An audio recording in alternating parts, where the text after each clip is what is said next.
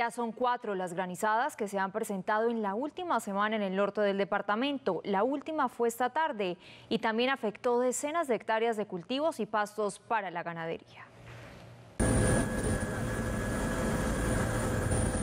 Esta es la cuarta granizada que azota el norte antioqueño en la última semana. Una vez más, los pastos y los sembrados se llenaron de hielo, lo que agudizó aún más la crisis que hoy viven los campesinos de la región, que apenas comenzaban a evaluar las pérdidas por las granizadas del miércoles. Hoy se estiman en más de mil las hectáreas afectadas entre pastos, cultivos de fresas, papa, tomate de árbol y gulupa. Pues la verdad en tomate fueron 700 árboles.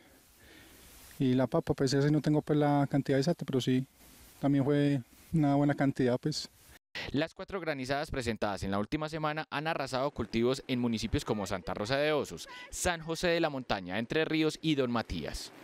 Por acá lo que sabemos, hay por ahí unas ocho fincas afectadas aquí en, el, aquí en este sector, porque aquí vecinamente el guayabo también resultó afectado. Dicen los campesinos que también están afectadas sus huertas, tanto de comercio como de consumo familiar, lo que incide en la economía de la región. Además, las pérdidas en cultivo de papa, otro renglón económico importante de esta región, supera las 30 hectáreas.